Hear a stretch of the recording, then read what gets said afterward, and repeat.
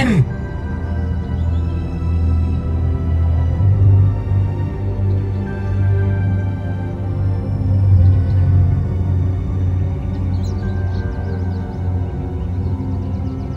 Fate weaves the threads of our lives together.